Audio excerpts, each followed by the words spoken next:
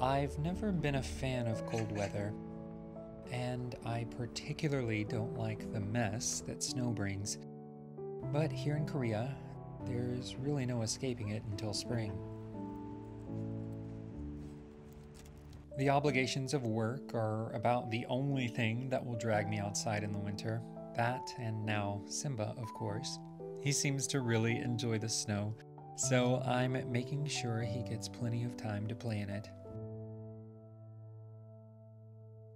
The cold and the snow make everything inconvenient and uncomfortable, but I'm taking small steps to enjoy it, since there is no way of avoiding it. There is indeed both a severity and beauty to this season, and to properly enjoy it requires a mixture of embracing and ignoring this darkness.